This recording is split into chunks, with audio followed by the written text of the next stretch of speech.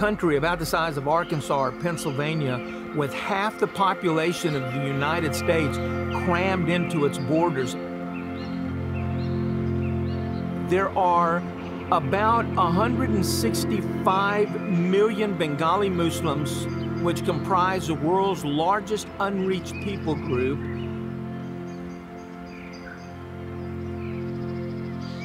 In the fall of 1998, I was traveling by train across the Gobi Desert from Ulaanbaatar, Mongolia to Beijing, China. On that 26-hour train ride, the Lord touched my heart and prompted me to read once again through the book of Acts. As I read through the book of Acts and Paul's missionary journeys, God again touched my heart about what I should do moving forward in regard to missionary effort. And uh, the thing that I felt so distinctly and clearly in my heart was that I should go to the hard places, the last places, the places on the ragged edge, the places that get the least access to the gospel. And so I came home, and through a series of events, God opened a door for me to travel to Bangladesh. And so in 1999, I came to Bangladesh. I just felt this compelling, strong conviction that that's where I should be and that's where I should lead others to go.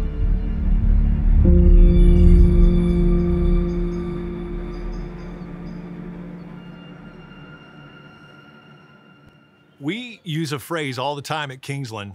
We say, go beyond. It's a phrase that was born in the heart of Omar and his heart for moving outside of your comfort zone. But we use it so often that actually it's a part of our mission, our vision statement. We talk about four domains of true fulfillment, and a part of being fulfilled, remember, is to step outside of our comfort zone into that place beyond. Well, beyond, going beyond doesn't just mean doing things that are risky for no reason. It, it's, it's more than that. It's stepping outside of our comfort zone in the name of Jesus. And we see a picture that in a beautiful place in the New Testament. I want you to turn with me to Acts chapter 8. It's a passage that really em- emphasizes what this means to move outside of our comfort zone in order to be the hands and feet of Christ. So, Acts 8 26 through 40 tells the account of Philip.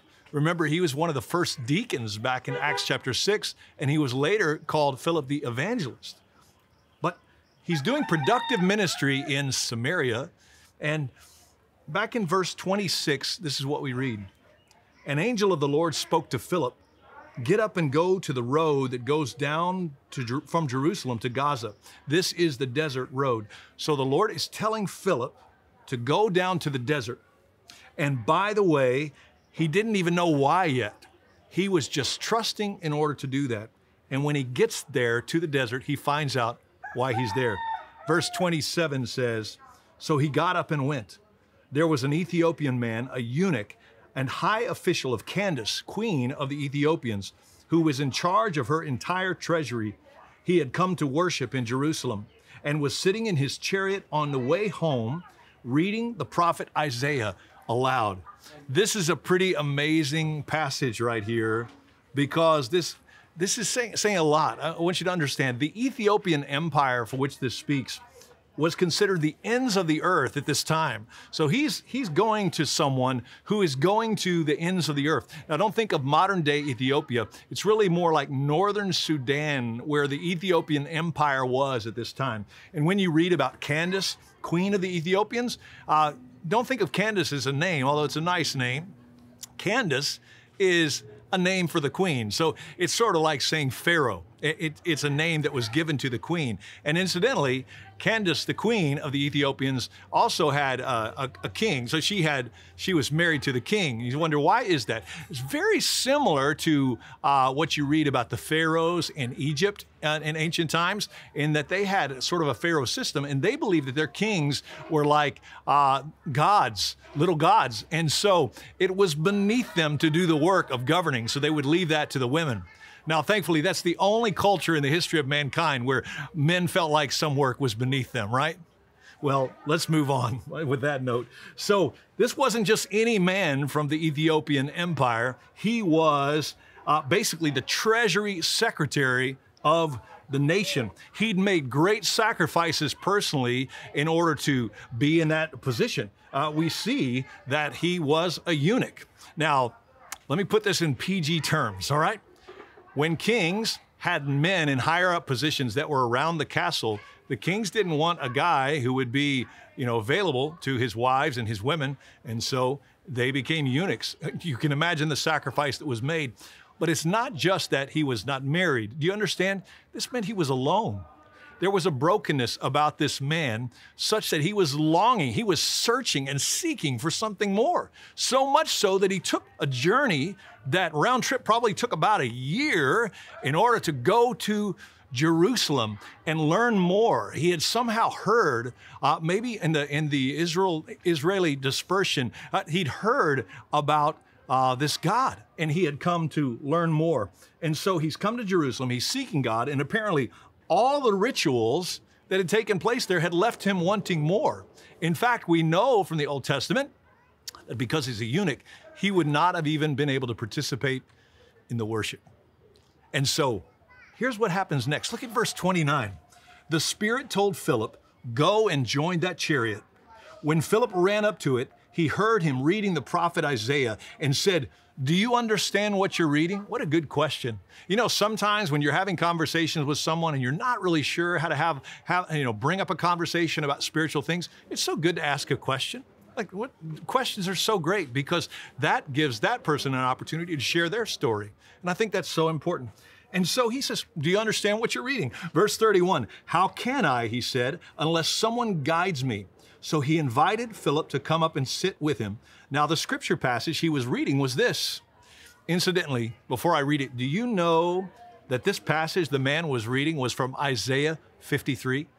I don't think it's any coincidence because Isaiah 53 is one of the most messianic passages in the Old Testament. It has more to say about Jesus, about Messiah and Savior than any other passage, and he had been led there. But I'll tell you something else. I wonder whether he was reading from Isaiah around this area because he had already read it and was rereading, or had been pointed to this passage from somebody else. Because do you know what we find in Isaiah 56? Verses 3 and 4. Isaiah 56, verse 3 says this No foreigner who has joined himself to the Lord should say, The Lord will exclude me from his people. And the eunuch should not say, I am a dried up tree. And so he goes on to give promises to the eunuch. So you can imagine what hope that has. But now he, he's been to the Temple Mount. He has been left wanting, thinking there has to be more. Uh, I have been excluded. How can I have an opportunity to enter in? And he's reading in the Old Testament about a Messiah who will come, and along comes Philip to share. Now, look at the passage and let's read what he was reading from Isaiah 53. He was led like a sheep to the slaughter and as a lamb is silent before its shearer, so he does not open his mouth. In his humiliation, justice was denied him. Who will describe this generation? For his life is taken from the earth. It says there, the eunuch said to Philip, I ask you, who is the prophet saying this about, himself or someone else? And Philip proceeded to tell him the good news about Jesus, beginning with that scripture. Now, I love that because he wasn't just going to have a spiritual conversation as if all spiritual conversations are even. Uh, it, it's important that we come to a place where we, we talk about Jesus. You know, being in Bangladesh these last several days, I've met some of the most amazing people, very kind people who believe differently than we do. And, and it's wonderful that they have a sense of, of uh, someone who is greater than us and a sense of God. They even have a sense an understanding that there is a, need for a Savior. They know that they're sinners. But I would be doing a great disservice. We would be doing a great disservice if we didn't share the hope that comes only through Jesus. Do you see? Such a blessing that we can bring it there. So Philip brings him back to the good news of Jesus. And listen, I know there's probably some uh, who will watch this or witness this who say, you know what, there's probably lots of paths to goodness or wholeness or, or heaven. And the reality is that salvation and hope is available through only one, and that's the Lord Jesus, right? So after this, the eunuch clearly places his trust in Jesus Christ. He asks to be baptized, and he is baptized at that very place.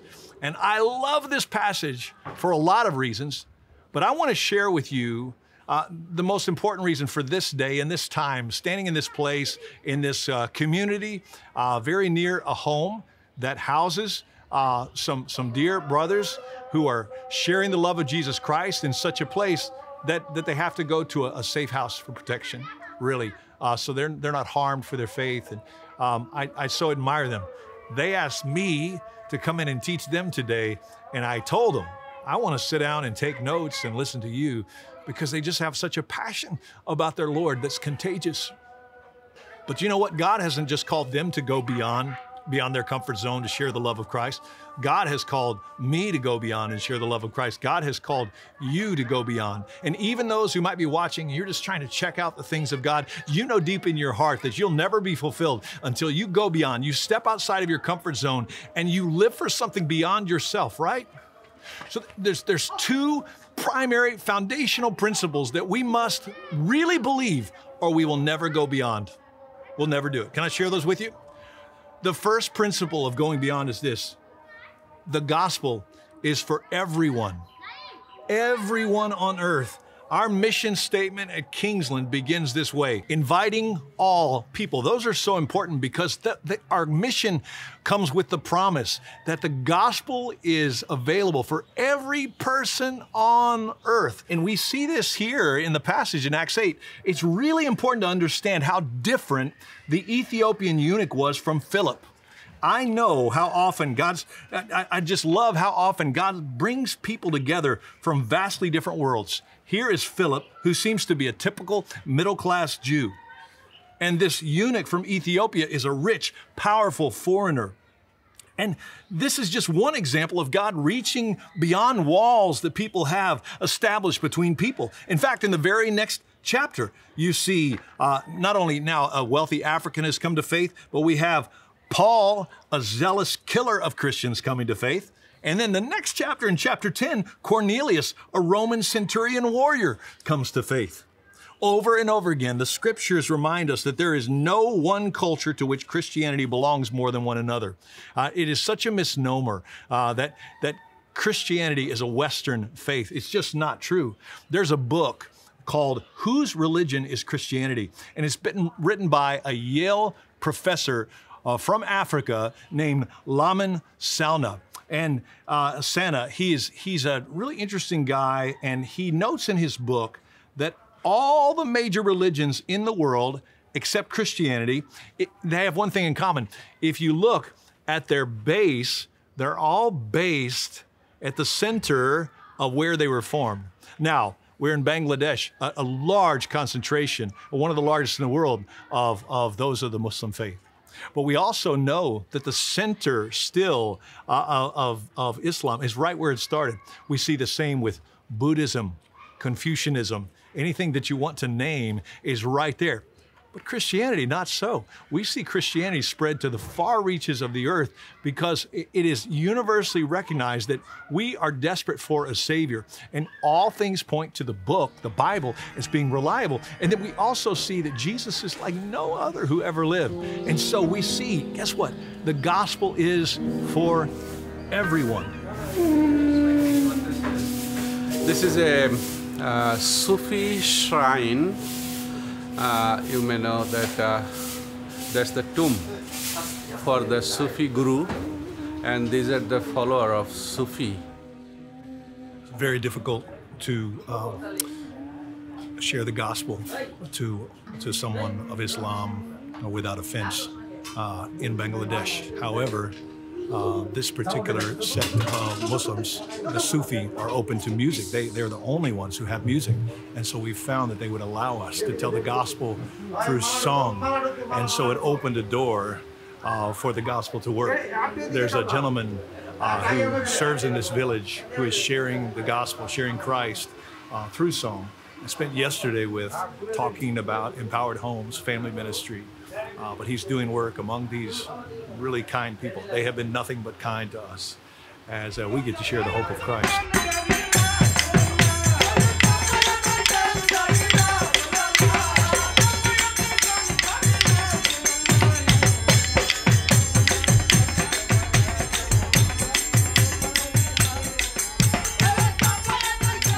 After the done, uh, I just took a chance to share the gospel with them briefly because uh, we had short time in hand. So I just uh, began to share about Jesus, Jesus in the Quran, and I just uh, share some uh, verses from Quran that talks about Jesus and uh, Jesus' birth and his miraculous activities and they said, oh yes, they immediately realized that, oh yes, Jesus is in, in, in Quran uh, and he is a kind of a uh, special prophet and uh, anyone who believes, he will get the salvation. So, and then they said, oh yeah.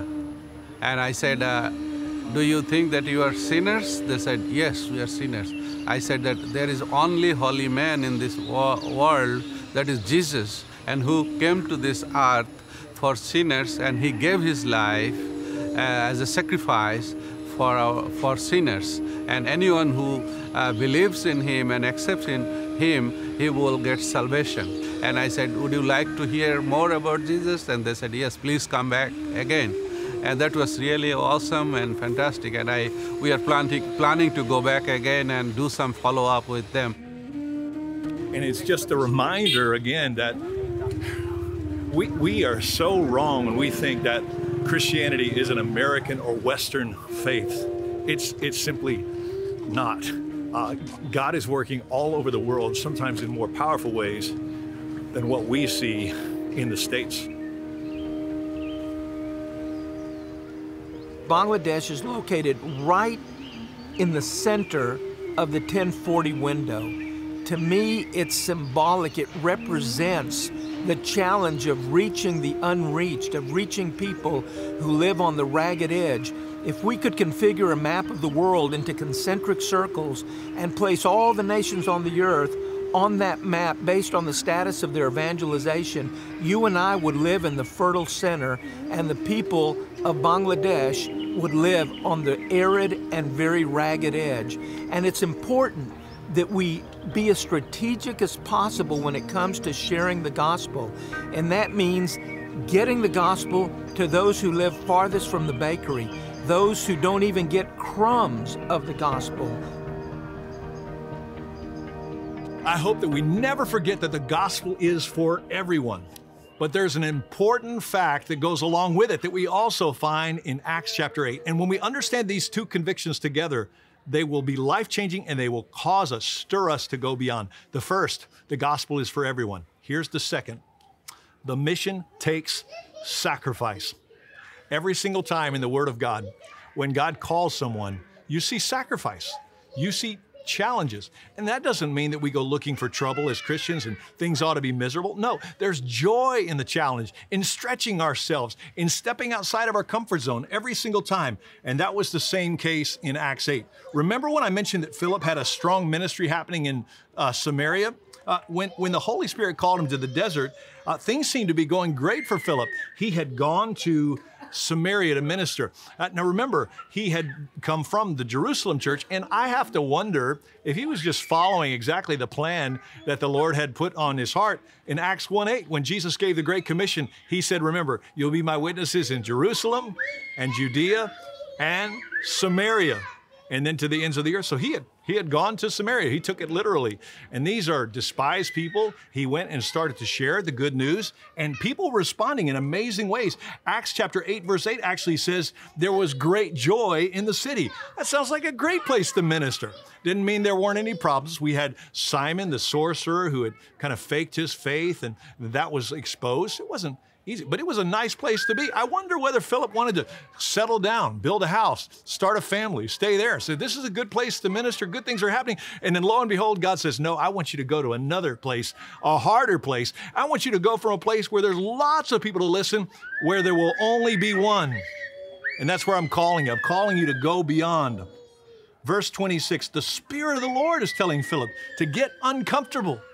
And I wonder, I ask myself, I've asked so many times this week, uh, am I willing to be uncomfortable for the sake of the gospel? Because I, I don't think you can go beyond until you're willing to be uncomfortable.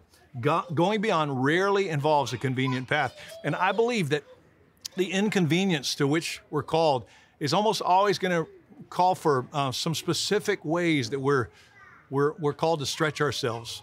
And uh, and be willing to get uncomfortable. I think part of that is has to do with location. That was the case with Philip. He had to get uncomfortable and step outside of his comfort zone to go to the desert in order to encounter this man.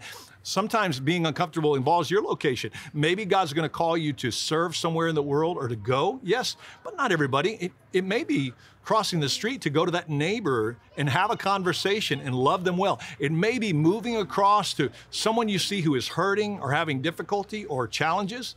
Uh, children, I, I, want you to know that one of the, the things that the Lord really put on my wife Lana's heart as we were raising our girls is she was a school teacher. And she said, so often there's that one child who's off to him or herself and is sort of despised by the others. And she said, I want to raise children that go across the room and find that kid and love that kid well. And I love that our girls were raised with that heart of compassion that they still exhibit in looking with those eyes to move in the direction of somebody who might be hurting. And I think it's really interesting now that later on, the Lord has given our family, you know, a, a, special needs daughter, someone that sometimes the world looks at and says, I just don't know what to do with her. And so we count on people to move in the direction and love her well uh, as Jesus would. Well, in the same way, God is going to call some of us, all of us really, to be uncomfortable as, as it goes with location. But I'll tell you another way that I think that sometimes we have to be uncomfortable, and that is with relationships. I mean, you have to take the step to talk about Jesus. And, and I know that's not always easy, but maybe, maybe to find a way to ask the question and say, tell me your story of faith. And not just have ongoing relationship for years where people don't even know uh, uh that you love, love the Lord Jesus. But I'll tell you another way that always shows up in Scripture that's very important. I think God calls us to be uncomfortable with regards to our resources, our finances. And, and I know that sometimes that's not easy to talk about, but the reality is, when we look at all the incredible work that's happened all around Bangladesh these last few days, and God's doing amazing work, this is all through seeds that have been planted for years. And, and you need to know those who have given sacrificially that when you're sleeping at night, we're, we're 11 hours ahead. God is doing a great work through those, those resources. We have seen some amazing things. We have seen, we have seen sacrifices that have been made such that there is a, there are, there are pastors being trained. Do you know, yesterday something amazing happened. I had the privilege of spending the entire day training a group of pastors uh, with regard to how to empower homes and, and how to, to strengthen families and how by doing that to share the love of Christ. Spent about seven hours with these wonderful men and women.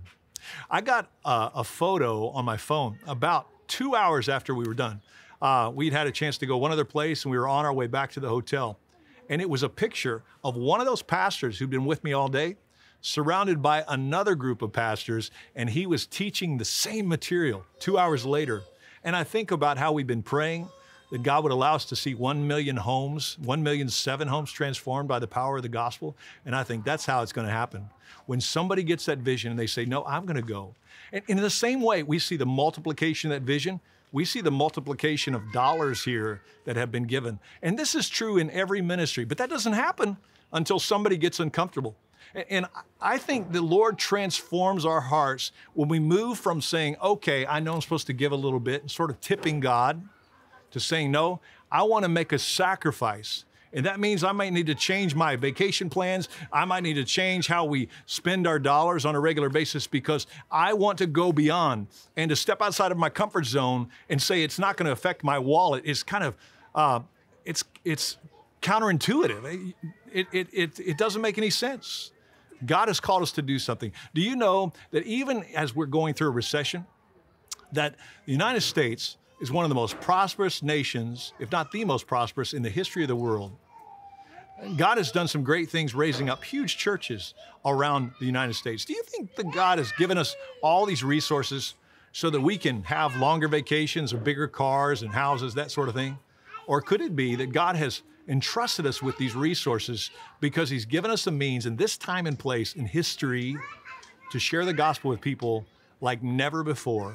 And those dollars go further than they ever have before. And that includes work that happens all around the world, like this one, among our many, many partners. It also includes what happens right around the church as we do that.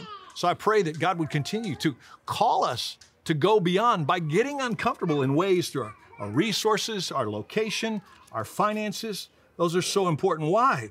Because God is inviting us today to go beyond. Now, what's the standard of getting uncomfortable? What are we supposed to be willing to do in stepping outside of our comfort zone? You know what the standard is? The standard of discomfort for the sake of the mission is found in 1 John 3:16. Listen to this verse. This is how we have come to know love. He, Jesus, laid down his life for us. So Jesus is the model we look to. And Jesus, of course, gave what? He gave himself for the sake of the mission. He's, he wanted to see lives restored to the Father. So, what should we be willing to do? Here's the rest of the verse. We should also lay down our lives for our brothers and sisters. That sounds like going beyond. And that sounds impossible without stepping outside of our comfort zone and making a sacrifice. Incidentally, in our time here in Bangladesh, we've come across multiple accounts of people who were willing to do just that. The gospel is for everyone, and the mission takes sacrifice. I want to introduce you to a longtime partner of Kingsland and someone who knows the, the importance of sacrifice very well. This is Manan. Life was very uh, uh, uh, a, like a difficulty because uh, my father he has two wives and also you know that my physically i am like a disability in my hand. When i'm like a born my father uh, three months he not see my face because he's uh, he saw oh it's uh, not my uh, it's my fault or my wife's fault. I don't see the son. So my father all time like negligency or like a not i'm not important uh, boy or important in this family. So almost sent like a team 14 bibles different 14 people they received i am reading the bible and then i saw that genesis first so how god created the, the earth and so it's very nice. It's a wonderful history.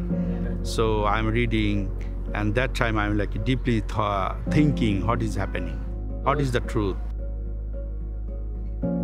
Uh, radical Islamic people and uh, also like Islamic leaders, they like collected all Bibles and they said, oh, it's a uh, please this is a wrong book and it is a very uh, like corrupted by the american peoples and american missionaries so that time, like uh, my Bible, I'm not saying, okay, I can read. This is my freedom. I can read. This is wrong. Okay, I'm like it. Take off. But why I cannot reading? It's a, not truth. And then my dad says, please, you go out from my house. So because you are not like a, uh, obey to my my comments. Community people pressure him. Oh, your son like a, he's a not obey. He's a educated uh, boy, but he's not like a obey. So how you can like a, you can say your this is your son?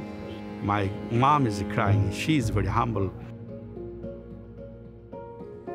I'm finished my like a 12 class and I came to Dhaka. I'm going to door to door for the tuition. I go to my dormitory. When I'm knock the door and one guy, he's my friend, I open the door and say, hey, I'm Anand. So please and all my shirt and pant and my bag, my friends say, you're not living here. This is a not dormitory for the Christian students. And then uh, it's a evening time, so Islamic uh, radical uh, guy, scholar, he bring all the Bibles, 13 pieces, and then said, okay, everybody give back. And then says, okay, maybe some, uh, we call the kerosene fuel, and then and they burn it. So they're burning the Bibles. Yeah. And they wanted you to throw yours in too? You know, it's my Bible. I'm not like give the back. Now I understood that my Lord's so strong in my heart. And I understood that. One time when I understood the Bible says you like forgiveness your enemies and you pray for them and I still pray for them. When I start the prayer for my village and many people came to the Christ from my community. So my family now, you know, that my younger brother, two brothers, my two sisters, my mom, everybody, now they're living the Christ. So wonderful time. It's a God's plan for like save my family, save my many souls, unreached souls. So now I understood very clear. So why I'm like a uh, keep strongly, why I'm like not giving the very easily, why I'm like uh, debating with them. So everything like I, I, I understood very clear I am not doing. Heavenly Father tell me, please you tell. I'm very happy and I'm very like grateful, so my Heavenly Father, He has a plan on my life. I understood very clear. So my earthly father, my physical biological father, dad, see, don't see me and don't like me. I'm not important in his life, but I saw Heavenly Father, Lord Jesus Christ. He saw me and he loves me.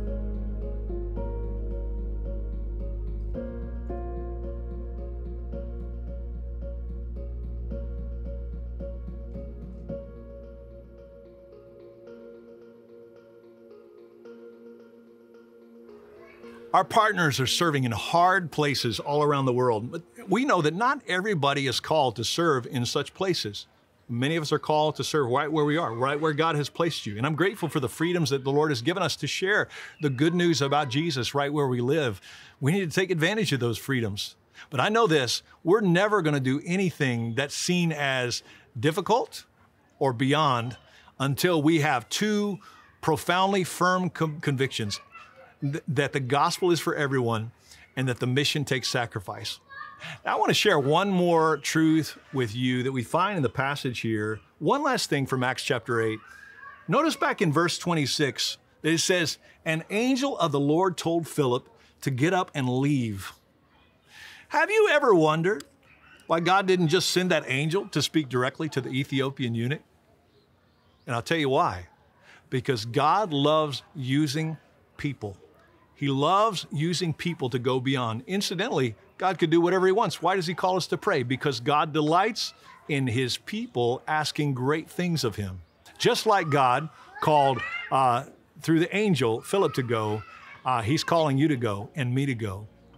And so that's only going to happen when we remember these two important points. Listen, the gospel is for everyone, the mission takes sacrifice.